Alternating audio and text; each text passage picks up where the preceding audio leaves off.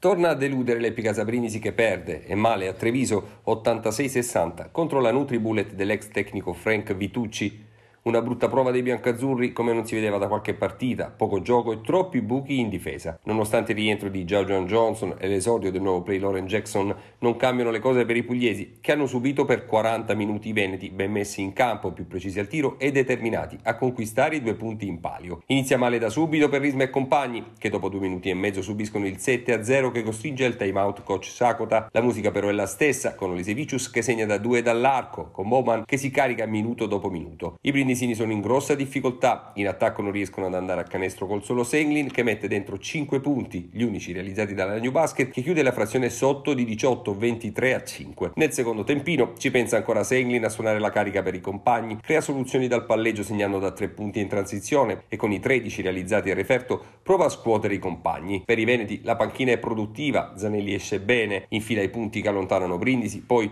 ancora Kai Bowman trova canestri pesanti che tagliano le gambe ai biancazzurri completamente nuovamente nel pallone. Alla pausa lunga si va negli spogliatoi con i padroni di casa con 22 di vantaggio, 45-23. Quando si torna in campo si si aspetta una reazione dei pugliesi, ma nonostante Dragan Sago da cambi più volte quintetti, è Treviso ad avere la meglio, con maggiore precisione al tiro, 50% in totale, grazie ai suoi esterni. Morris si vede a sprazzi, Snid alle polveri bagnate e al trentesimo è sempre in doppia cifra in ritardo per l'Epicasa 59-42. Nell'ultimo quarto sono gli uomini di Frank Vitucci a comandare il gioco, con Brindisi completamente fuori fuori dalla gara, che sbaglia tanto, perde palloni e non pensa neanche a giocare per una eventuale differenza canestri. Pur senza Polycap sottotono, per Treviso, oltre a Bowman, ci pensano Zanelli e Allen a mettere la firma per i primi due punti del campionato dopo 10 partite. Domenica a Brindisi arriva la Open John Metis Varese, sicuramente non una squadra di prima fascia, ma a questo punto della stagione la New Basket non può più sbagliare le gare casalinghe, obbligatorio vincere e provare a fare almeno un colpo esterno, sino al termine del girone di andata.